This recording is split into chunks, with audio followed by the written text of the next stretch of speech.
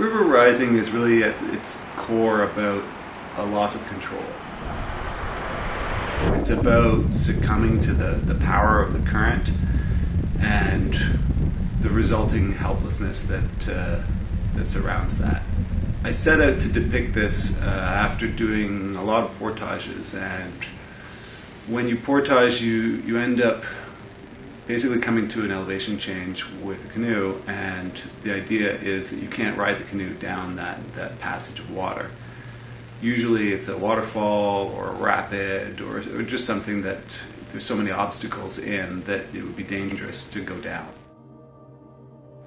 This project started in about 2017 when I was sitting at one of these precipices, just with my canoe looking over what seemed like an obstacle course of disaster. And I thought it would be really fascinating to, to get images all along the way through these, these, these sets of rapids. And at the time, I had just been working with action cameras and sort of durable waterproof cameras uh, like GoPros. And so I decided to put one of the, my GoPros on a flotation device and then just let it go down the river and see what happened.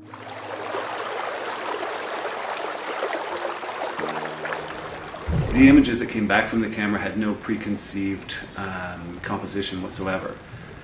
Horizon line became something that was not ever straight, um, and you just just don't get control of the image, much like losing control of your balance. As an artist, you're always trying to like have a perfect sense of composition within the image, and, and motion was a key, like capturing that sense of motion from within the current and the froth, and literally smacking up against rocks, falling off of cliffs, uh, being turned upside down, being dragged under the water was something that often happened. The camera would flip over, go backwards, and just be pulled along the bottom of the riverbed.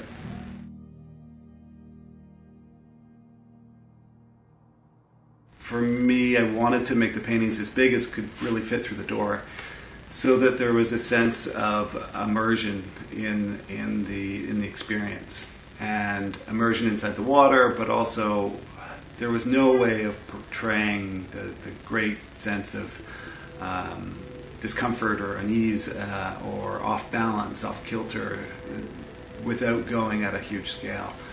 So that's why you'll see the seven large pieces in the in the front room because I wanted the viewer to step into the front room and, and like a like a giant projection, be able to walk around and, and feel the storyline change and just be immersed in that in that turbulence.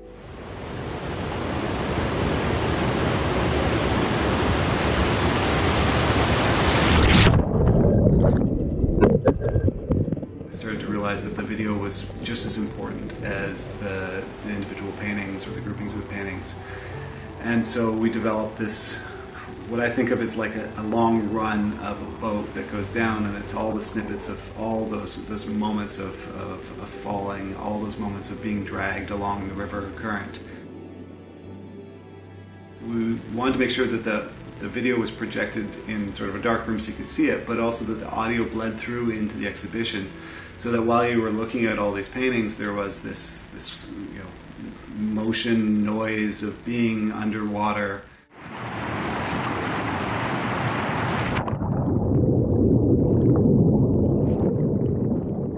Within this, this project, I got really excited about the idea of building various crafts that would navigate these waterways more effectively. The first couple crafts that I built were total disasters. The first one was on a, an inflatable pillow, which went down the river, but as soon as it hit any sort of bump or um, fall or anything like that, the weight of the camera being on the top of the pillow just pulled the camera underneath the water, and then all I did was record everything underwater. Over time, one of the things I really became uh, interested in developing was a ballast for the boat. So trying to put more weight on the bottom than there was on the top, which would mean that if it went over over falls, it would potentially right itself as soon as it had gone through whatever disaster it had gone through. It was no longer about just getting one split second where the thing went over a crest and forward or backwards, it was going down the river and you would either see what it just went over or you would see what was ahead. And,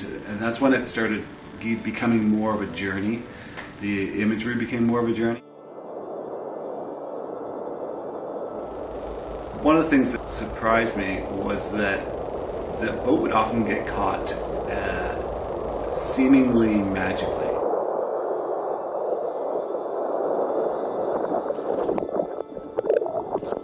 In a, in a way that was a loop and it, it couldn't throw itself out of it. So, despite the, the speed and the turbulence and the force behind the water, uh, in what I think of as like the chute, everything to the side of that is often just circling around in these eddies that wouldn't allow the boat to go back in.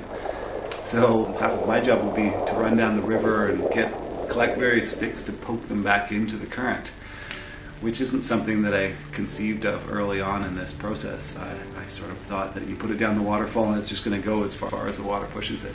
Not the case.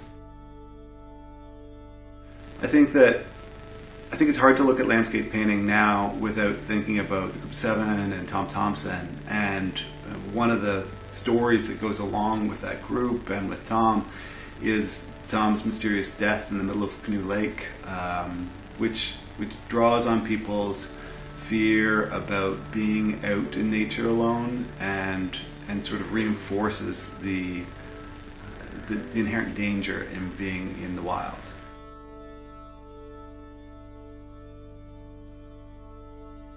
So if you walk around the show and you look at dates, um, you might notice that there's two distinct periods of time which I was working on the show. The first was 2009, which all the, the major large works were done in, and and the sort of set of eight studies of those were done.